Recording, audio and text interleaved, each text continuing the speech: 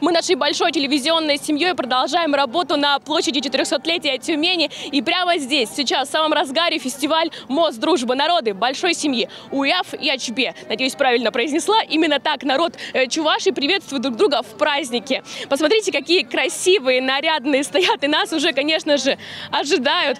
Александр Германов нас здесь ждет, член ассоциации. Здравствуйте. Поздравляем вас с праздником. Надеюсь, у вас хорошее настроение сегодня. Да, с праздником. Отлично.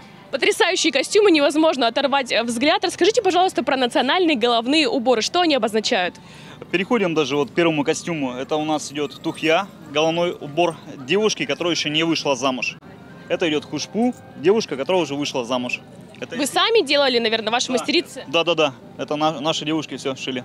Очень много монет. Что они обозначают? Просто для красоты или тоже какой-то символизм есть? Нет, несколько задач. Первое, помимо того, что это несет украшения для красоты. Второе, это идет защита, потому что наши девушки это были амазонки, которые бились с врагами, когда их мужья воевали, и когда они шли с детьми по лесу.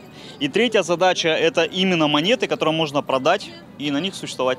А, то есть это настоящие монеты? Настоящие монеты. Слушайте, неплохая идея. Может быть, можно использовать в жизни. Национальный костюм составлял около 30 килограмм у девушек. Если даже ее мужа убили, то есть она без денег не оставалась. 30 килограмм. Просто представляете, насколько на самом деле тяжело было. Э, Наверное, какая сила духа была у ваших женщин. Мощный мышечный корсет был у девушек. Спортсменки. Так, такой вес носить, да. Очень много узоров на ваших костюмах. Скажите, пожалуйста, ну вот а, я насколько знаю, они все что-то обозначают. Вот мы переходим к мужскому костюму. Что, например, обозначает, ну вот, допустим, вот этот символ? Начнем с того, что вообще это головной, ой, головной, это идет у нас одежда шубар мужской.